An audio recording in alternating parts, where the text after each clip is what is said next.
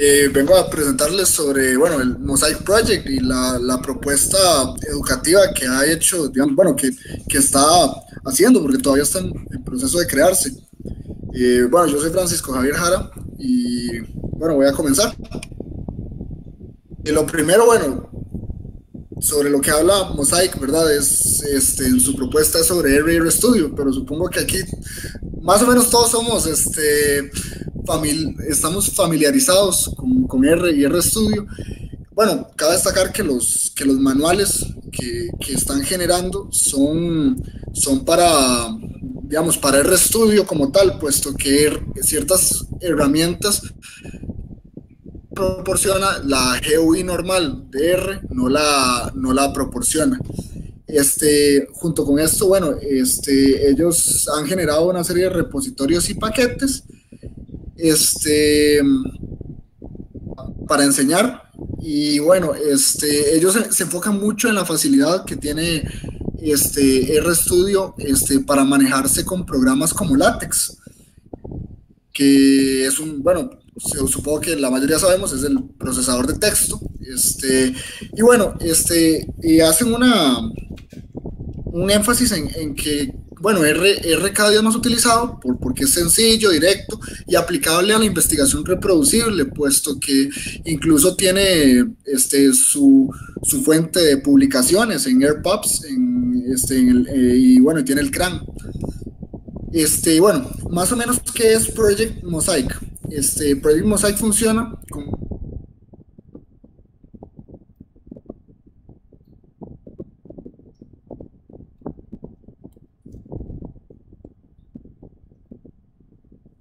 una iniciativa y no exactamente la otra, pero este, eh, lo que buscan es enfocar eh, la utilización de R en el cálculo, el modelaje, este, la estadística y la computación. Y bueno, ¿para qué es esto? Para compactar una serie de temas que en ocasiones se ven aislados este, o, o por lo menos no se, no se busca traslaparlos en los cursos. Este, ese es el problema que ellos pidieron darle solución mediante lo que es Project Mosaic. Entonces, este, mucho de esto tiene que ver con la importancia que le ha dado la American Statistical Association a la computación moderna.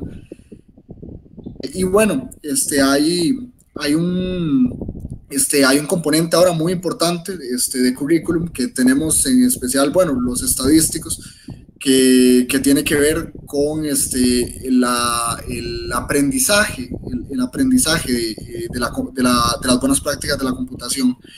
Entonces, este, lo que se, se propone en Project Mosaic es la construcción de un paquete y manuales para la enseñanza de la estadística, el álgebra y el cálculo. Que, este, y bueno, entre entre uno de sus tantos objetivos, este, buscan hacer un abordaje primario, digamos, a lo que es el data science, que, que es algo que ha sido bastante novedoso y le dan un abordaje bastante bueno. No, no solo porque yo esté ahí trabajando con ellos. Este, siguiendo con esto, este, lo que buscan es un trabajo en proceso constante. Entonces, eh, lo que buscan es que haya retroalimentación también de los usuarios este, del paquete y los manuales. ¿Eso qué significa? Que la idea es que todos construyamos un poco los manuales y el paquete, el paquete de, de Mosaic. Este, esto, ¿por qué? Porque, bueno, ellos dicen que uno siempre puede encontrar errores en lo que alguien más hizo, porque se este, puede ir adecuando a las necesidades que tengan diferentes tipos, diferentes enfoques de la enseñanza estadística, por decirlo así. Y bueno, me, enfoco en lo estadístico porque es con lo que he estado trabajando, sin embargo, también supongo que estarían abiertos a, sobre la enseñanza en el cálculo y el álgebra lineal, que es algo en lo que yo no he estado muy involucrado, pero al menos en las estadísticas este, están muy abiertos a y, y mejorar este, de acuerdo a las necesidades que tengan diferentes instructores. Entonces, este, básicamente, ¿para qué sirve el paquete que generaron, el paquete Mosaic?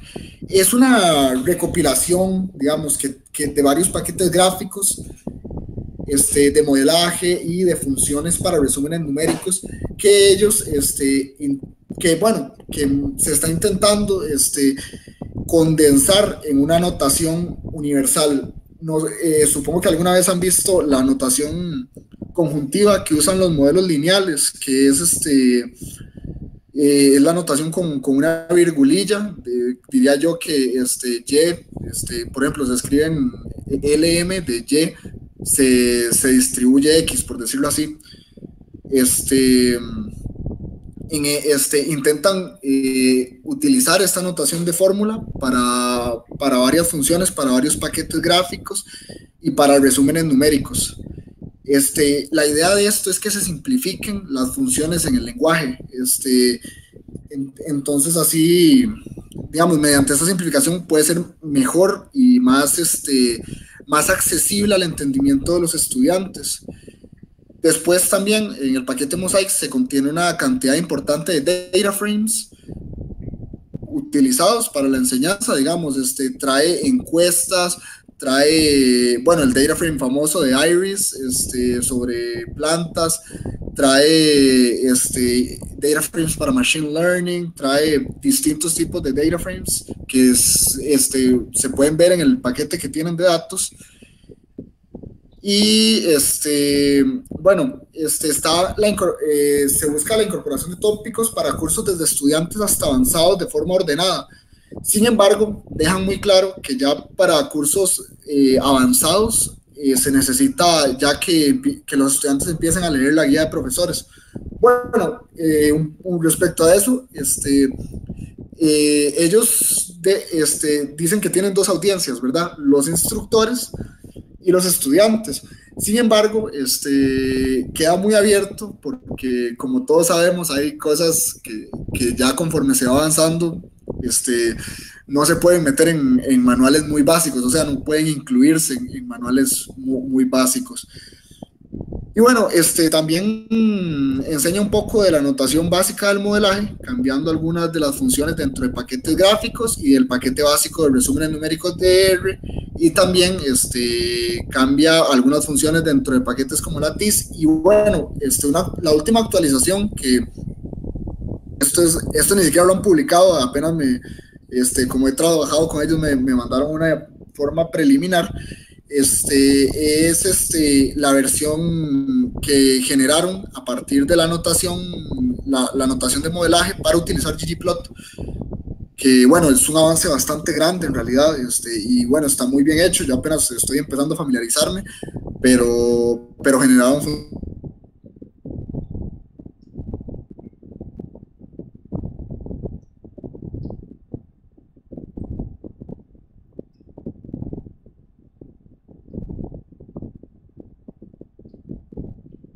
funcionales y que conforme pasen los cursos puedan desarrollar cada vez más sus habilidades con el lenguaje de programación y que se enfrenten mejor a nuevos paquetes de R. Entonces, bueno, por ejemplo, supongo que todos hemos escuchado el Tidyverse. El Tidyverse, este, sin, sin, un, digamos, sin un cierto conocimiento, puede volverse un poquito complicado. Entonces, este, se supone que dota al estudiante de ciertas herramientas que, para que se pueda llevar incluso mejor con el tidyverse, con la notación de fórmula, con, y con resúmenes numéricos, digamos, para, para que cuando llegue ya a cursos avanzados este, tenga la capacidad de investigar incluso cómo utilizar de la mejor manera y de la manera más eficiente R este, quieren hacer un acercamiento, digamos, a la ciencia de los datos, que este, es algo que se está incorporando en la formación estadística, digamos, eh, desde hace poco, digamos, no, no, no es algo muy, es, es algo eh, relativamente reciente, puesto que viendo, viendo, este, viendo cursos, todavía existen cursos que se imparten con papel y lápiz y en realidad ya existen herramientas que nos permiten dejar el papel y lápiz atrás y las tablas estadísticas y, esas incomodidades por las que se pasan en, ocasiones no dan resultados tan exactos como puede dar un algoritmo para, por ejemplo, una distribución normal o una distribución exponencial a la hora de dar un curso de teoría estadística, por ejemplo. Esto. Este, bueno, la idea es desarrollar la, este, las capacidades de programación en R, tanto en el instructor, eh, de primera entrada en el instructor y después en el estudiante. Entonces se hacen una serie de, herramientas didácticas y, bueno, algo que ellos este, trabajan y, bueno, yo quiero incluso implementar en, en la Escuela de Estadística de la Universidad de Costa Rica, es los servidores de R para el acceso desde un navegador web. Eso ayuda a que, por ejemplo, a la hora de un examen o de un o, eh, de, algún este, de una evaluación, lo que sea, este, no, no sea necesario que se envíen los scripts o se envíen los archivos Markdown, sino que el profesor pueda revisarlos ahora en un servidor de R, bueno, RStudio.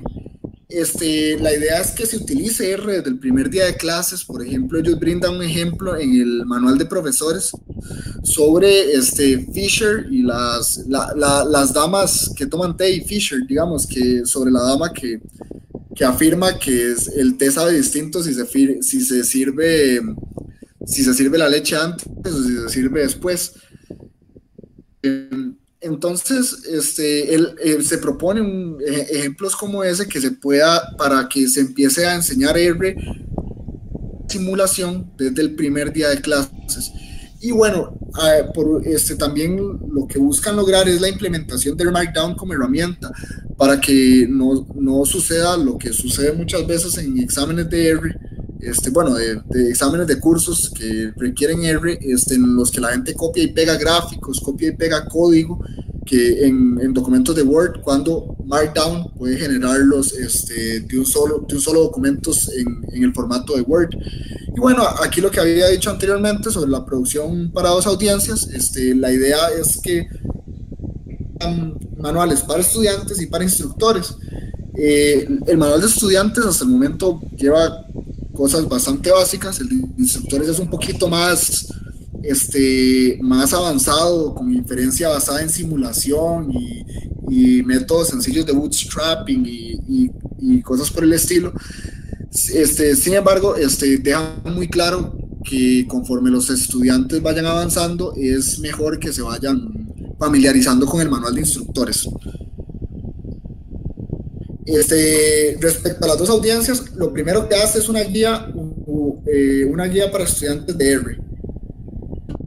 esto es el libro, que, eh, el Little Book, como le dicen, este, que, eh, que hace una introducción a R sobre funciones básicas de resúmenes numéricos, este, busca los, dotar a los estudiantes de herramientas para cursos más avanzados. esto es muy importante, se busca que se, den, se utilicen cursos introductorios, o sea, un abordaje en los primeros años de la estadística. Y bueno, hace un acercamiento a la interfaz gráfica LATIS y tiene un volumen acompañante para estudiantes más avanzados que se llama Start Modeling with R, que, es, que bueno, no, todavía no se hace un esfuerzo de traducción con él, pero se espera que el, que el esfuerzo esté porque, bueno, este fue el primer libro que generaron en realidad, este, Start Modeling with R, fue el primer libro que generó el proyecto Mosaic, sin embargo, el que ha tomado popularidad ha sido el de la guía de estudiantes y la guía de instructores. Después de este libro empieza a enseñar con R, de lo que busca es dotar instructores de habilidades este, que tengan que ver con R y busca dotarlo de herramientas didácticas para la, para la clase. Y busca dar un profundo entendimiento a la notación de fórmula que utiliza el paquete, la notación de, de, Y, virgulilla X, que es, la, la, que se utiliza en los modelos lineales, y este, le dota al, al, al, instructor de una serie de herramientas para la solución de errores que puedan tener los estudiantes y mensajes de warning. Este, para, que los, eh, para que los profesores, cuando un estudiante se enfrenta a un error, este, sepan cómo manejarlo. Y este, se, este, descubrieron ellos dando clases que la mayoría de errores este, se producen no, no, por, este, no por mal entendimiento de, este, de R, sino por mal entendimiento estadístico y de, de no saber qué hay que brindarle a R para que solucione los problemas que, que tenemos. Después este, va muy enfocado en simulaciones y bueno, este, tiene un capítulo entero sobre interfaces gráficas y, este, interactivas y también un capítulo entero sobre manejo de datos con Tidyverse. Este, bueno, el método y el enfoque que Mosaic Project le busca dar eh, son los procesos que se validen los procesos inferenciales mediante simulaciones. ¿Por qué? Las computacionales tan, tan sofisticadas como las que podemos tener ahora, ya es posible validar mediante simulaciones eh, inferencias que tuvimos, ver comportamientos, ver cuando suceden cosas extrañas y mediante simulaciones este, y el bootstrap y el remuestreo podemos empezar a, estudiar este, este tipo de digamos, de, de bueno, podemos hacer este tipo de validaciones, de, inferencias que hayamos hecho. Sin embargo, este, deja muy claro, ¿verdad?, que, que hay que tener cuidado con, con, con, este, por decirlo así, este juguete nuevo que tenemos.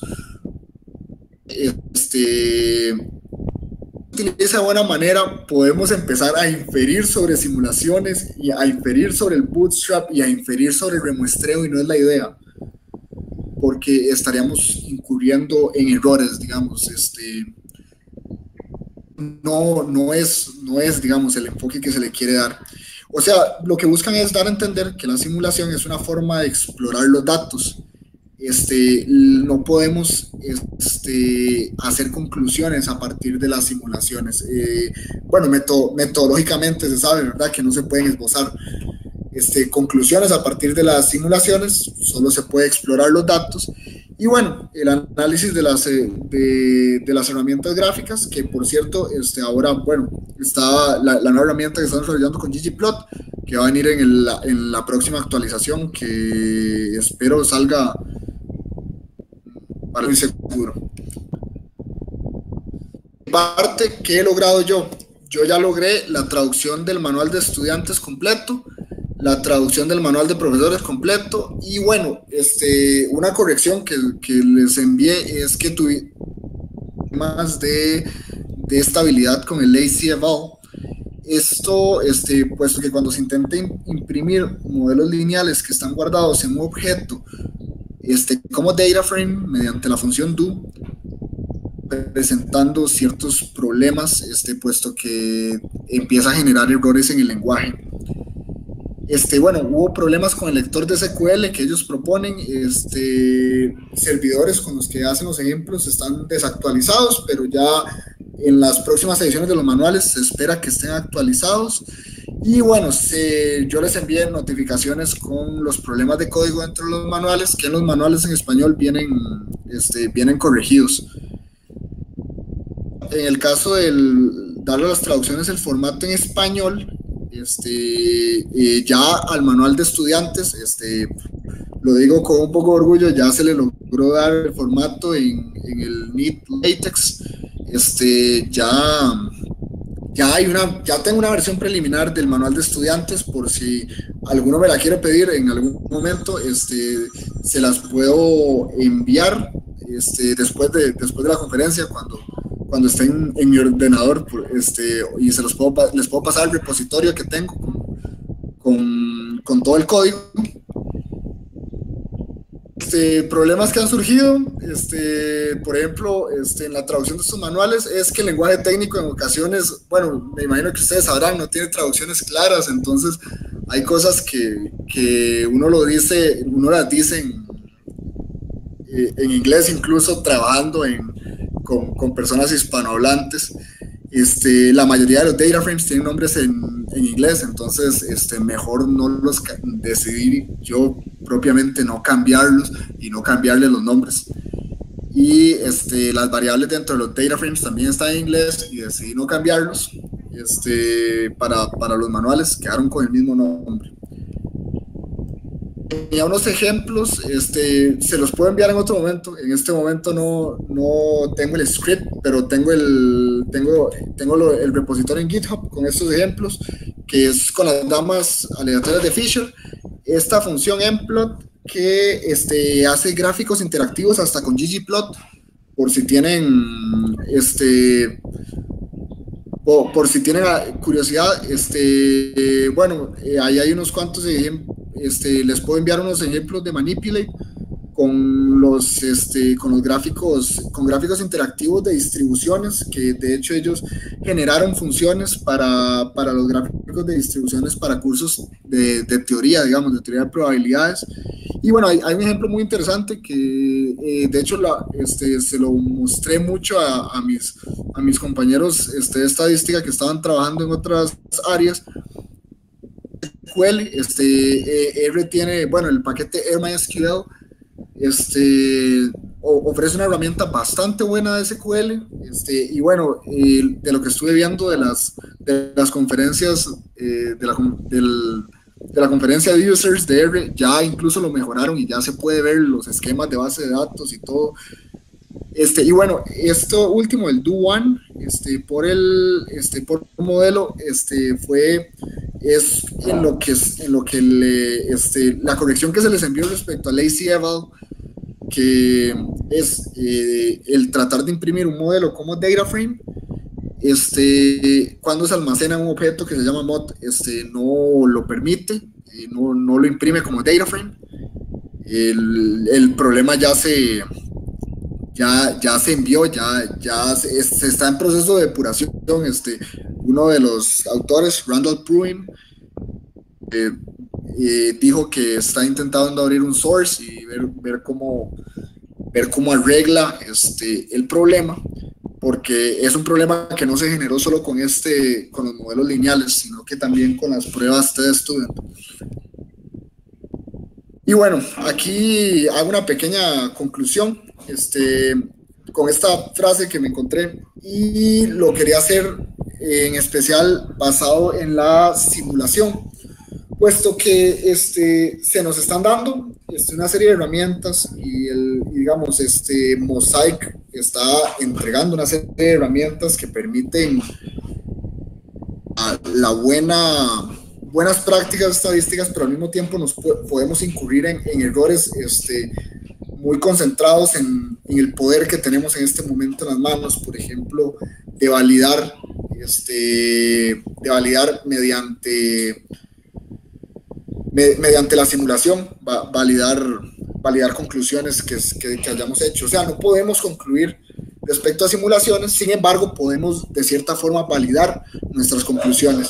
Entonces tenemos que, o sea, tenemos que buscar un, punto medio donde todo, todo esto, que es todas estas grandes innovaciones que se nos están presentando como, como R, este, que R no, R como tal no sustituye el, conocimiento estadístico, puesto que termina siendo, al final termina siendo necesario.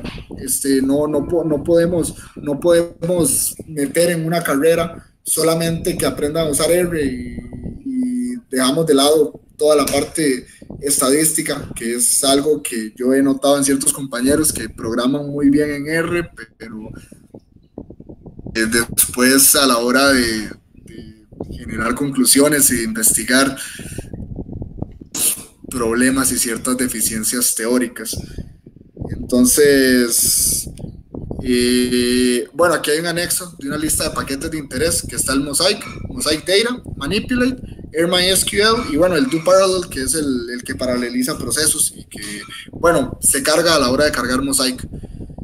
Eh, quería este, hacer un, paréntesis aquí al final para hablarles un poco de que viene. No pude hacer una, un slide para, para la actualización porque es, es sumamente nueva y, y, apenas me mandaron el, el, Markdown, pero me parece muy importante, digamos, este, el hecho de que una interfaz plot este, se esté simplificando para, para, los estudiantes. Me parece increíble, me parece que hicieron un esfuerzo muy grande. Ellos, este, Nicholas Horton, este, Randall Bruin y, este, y Daniel Kaplan hicieron un esfuerzo muy, muy, muy grande este, para hacer ggplot accesible a todos, que bueno, todo, si alguno está familiarizado con ggplot, sabrá que este, algunos gráficos se pueden llevar varias líneas de código y además de eso, este, bueno, y la, interfaz ggplot es muy buena, o sea, es, un, es, es una interfaz gráfica muy flexible, muy, este, muy bien diseñada. Este, digamos, hacerlo accesible a, los estudiantes desde un inicio, desde que están, desde que están, digamos, por decirlo así, en pañales estadísticos, iniciando, iniciando apenas a construir su conocimiento, funciona mucho para que en el futuro se enfrenten a esta interfaz. Por ejemplo, yo me enfrenté este, a ggplot hasta este año. El profesor nos pidió los gráficos en ggplot y yo lo único que sabía era la TIS. Y bueno, ahora que, que, ellos, que ellos lo simplifican, bueno, hasta, hasta necesita menos código, para correr un ggplot. Eh, hasta aquí llego, no sé si habrán preguntas. Este, estaría muy agradecido si me piden los pequeñitos ejemplos ahí que, escribí de, este, con respecto a funciones que tienen. Este, cualquier cosa me pueden contactar y yo les podría pasar mi, repositorio en GitHub en estos días. Este, lo estoy actualizando porque recién acabo de, lograr, digamos, de lograr ciertas ciertas cosas hasta el momento preguntas. Francisco, primero que todo, muchísimas gracias. Muy bonito ver todo lo que se ha alcanzado y para, para dejarlo muy claro, tú has estado trabajando en la traducción de todo esto. La traducción y un poco la revisión también. Este, eh, en, realidad en un inicio iba a ser solo la traducción, pero me enamoré un poco del proyecto y, y al final terminé incluso incluso enviando unas cuantas correcciones muy respetuosas, ¿verdad?, a los tres autores. Eh, ¿Podrías eh, darnos tu, eh, repositorio GitHub? Me imagino que la traducción también la tienes en, GitHub, como para, por, si queremos ver o quizás contribuir en, buscar este, ¿Cómo, ¿Cómo, es tu nombre? se, lo, se, los puedo enviar, este, bueno, a todos los que están aquí se los, se los puedo enviar, este, tal vez como en, en, una hora para, este, sí, sí lo tengo claro y, y sí, sí, se, sí se los puedo enviar, nada más que el repositorio está un poquito desordenado en el momento. ok, no pasa nada. Lo, lo, tendría que ordenar un poco porque, este, bueno, es que acá, acabo, de, acabo de lograr este, sacar el formato de la traducción de estudiantes. Entonces, este, no sé si, les ha pasado, pero que terminan un proyecto y tienen archivos por todo lado. Pasa, eso pasa. Esteban, ¿tienes, preguntas, ¿tienes preguntas para Francisco? Eh, eh, mucho gusto, Francisco. Em, muy interesante la, la, presentación. Creo que ya no, Fran nos había puesto en contacto ahí por un correo, si no me equivoco, en algún momento. Y, y sigue, bueno, nuestra propuesta en pie de interés de reunirnos este, personalmente con usted y, bueno, a ver qué, qué, qué, qué, actividad de colaboración podríamos sacar a partir de ahí. Estaba escuchándote y más que pregunta, digamos, como tal vez un comentario. Yo también, digamos, yo soy uno de los que todavía no entiendo bien la lógica de cómo usar este ggplot. Yo al final lo que he hecho es que eh, tomo un código de alguien que ya lo hizo y yo empiezo nada más a hacer ajustes, ¿verdad? Con algunos parámetros que yo conozco, digamos, que puedo modificar escala, que puedo agregar esto acá, que puedo hacer por allá. Pero todavía, todavía no logro como entender, digamos, si, si a mí me dijeran, construye un gráfico o, digamos, que tenga este, varios elementos de que sea un gráfico donde yo pueda solapar este, objetos sobre otros, ¿verdad? Yo todavía no sé creo que no soy capaz de hacerlo, o sea, no, porque no entiendo bien este, la lógica de, cómo es que este, hay que, exactamente como decías, cómo es que hay que pasarle la información a R para que me entienda, ¿verdad? ¿Qué es lo que yo quiero hacer? Y yo creo que, que, esto entonces ha sido una de, de, las de las trabas tal vez para que R eh, pueda llegar a ser muy popular también en la parte de, por lo menos yo que trabajo en, también en universidad, digamos, como para que sea popular en nuestros cursos de estadística, ¿verdad? Este, yo, yo he escuchado compañeros que tienen interés en ERO y demás, pero se genera una curva de aprendizaje este, un poco más alta, a diferencia de programas tan automatizados como Minitab o SPSS y demás, que, o sea, por ejemplo, Minitab es increíble que casi que da hasta la interpretación de todos los reportes y demás. Entonces, yo, bueno, este, si una persona no tiene, eh, digamos, este, ciertos conocimientos, va a preferir ese porque es poquito lo que, lo que debe hacer y manipular y básicamente va a tener este, el problema resuelto de, de, gráfico, de una, una prueba de hipótesis o lo, que quieras, ¿verdad? Y en R, este, para hacer eso, tienes que eh, meterte un poco más de lleno al código, a la consola, y si quieres ir más allá también. Yo creo que R debe ir buscando, ¿verdad? He, he visto como opciones como Rater, como Factominer, que hacen ya algunas algunos intentos un poco más, este, más gráficos tal vez para la gente, eh, pero, pero sí, aún así estaba como, como faltando. Si, si eso se lograra hacer y que tal vez nos, nos reduzca, por ejemplo, un poco la, la, curva de aprendizaje en los cursos, podría ser muy atractivo empezar a la gente a entusiasmar con R. Luego, una vez de que la gente prueba, ve las, las, las posibilidades, porque algo que yo creo que casi nadie cuestiona es que tiene muy buena calidad. Por ejemplo, la parte de gráficos en R es de muy, muy buena calidad. Entonces, si ya la gente se entusiasma, a lo mejor viene la siguiente etapa. Ok, quieres hacer cosas este, más elaboradas, quieres meterte a, personalizar tus propios gráficos, entonces ya puede dar el siguiente salto de, de, meterse a manipular un poco la parte de código. Pero que en primera instancia, para ir involucrando a la gente, este, me parece muy bien que, estén haciendo este tipo de, esfuerzos. De hecho, respecto a lo que dijiste de, de, de ggplot, sí, es, es, es increíble este, lo difícil que se puede volver la lógica de ggplot. Este, bueno, al ser programación vectorial y, todo eso, este, eh, se, puede poner un poco complicado. Sin embargo, este, dentro de los ejemplos que traía, que lástima no los pude presentar en este hoy, pero les puedo, pasar, se los, les puedo pasar el script. Este, este es eh, Mosaic trae una opción que se llama Emplot y Emplot este, permite, digamos, que hagas como ciertos tipos de gráficos, no, no, tampoco hace unos gráficos así como muy avanzados, pero permite que veas así como te empeces a familiarizar con el código de ggplot. Este, usted le puede, es una interfaz de gráficos interactivos y le permite empezar como a familiarizarse con el código de ggplot. Y bueno, lo otro es este, eh, lo, nuevo que están generando en la última actualización, este, que espero salga pronto en realidad porque está muy chiva, que es ya este, ggplot con una anotación parecida a la de la TIS. Algo que yo estaba hablando hace poco con un amigo que es, que es informático, este, que me decía eh, que, por qué, que por no se generaba una interfaz este, como la de ggplot eh, bueno, como la de la TIS, pero con ggplot y que nada más se tuvieran que meter argumentos en la función, o sea, nada más poner los argumentos, que no fuera necesario hacer toda esa suma de vectores que necesita ggplot.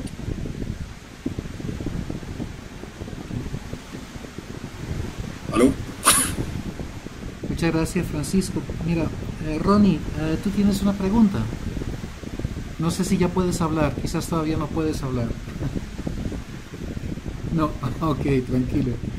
Eh, yo sí tengo una, Francisco. Eh, me encantó la, eh, lo que mencionaste sobre lo difícil que es hacer la diferencia entre los problemas que ocurren por falta de entender estadísticas y teoría y falta de entender cómo saber programar. En, um, en Mosaic, ¿cómo, cómo es la, qué, qué, solución dan para, para, para ese, ese problema? Porque a veces es un poco paradójico que gente trata de, de, programar algo que no entienden, eh, llegan a un resultado que no saben interpretar y asumen que es correcto, pero no lo es. Eh, entonces esa parte de la intuición, por lo menos en la enseñanza, es muy importante. ¿Cómo, cómo lo abarcan? ¿Cómo lo hacen? Ellos cubren este, dos preguntas y, y, y se enfocan en hacer siempre dos preguntas antes de programar en R. Este, la primera pregunta es, este, es qué necesito yo proporcionarle a R para que pueda resolver este problema. Entonces, lo, lo, que dicen es que cuando un estudiante llega con un problema, lo mejor es preguntarle, ok, ¿usted qué quiere que haga R? Y si él sabe bien qué quiere decir, entonces ya este, se, le, se pasa a la segunda pregunta. Ok, ¿usted sabe qué tiene que decirle a R para que haga eso? Entonces, si logra contestar las dos preguntas, significa que sí tiene un problema con, con, la función, no está entendiendo la función, no está entendiendo la programación, pero si contesta las dos, si no contesta alguna de las dos preguntas anteriores, significa que no sabe. Entonces ahí con esas dos preguntas se marca la diferencia.